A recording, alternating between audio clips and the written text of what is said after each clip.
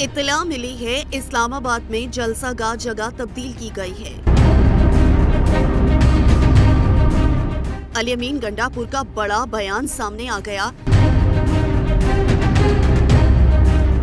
वज़ीर अला खैबर पख्तूनख्वा अली अमीन गंडापुर का कहना है कि इतला मिली है कि इस्लामाबाद में जलसा गाह की जगह बदल दी गई है। अली अमीन गंडापुर ने अपने एक बयान में कहा कि जगह बदलने के बाद हमारा जलसे का सामान तरनौल थाने ले जाया गया है। उन्होंने कहा कि सामान वापस करो, वरना आकर सामान भी लगा लूँगा और जलसा भी कर लूँगा। ये अपनी दी हुई एनओसी के बाद ड्रामे करते हैं। वज़ीर अला के पी का कहना था कि तरनौल थाने वालों को हुक्म देने वाले सुन ले कि मैं तरनौल थाने सामान लेने जाऊँगा। उनका मजीद कहना था कि इजाज़त दो या ना दो, जलसा होगा, कंटेनर और साउंड लेकर आऊँगा।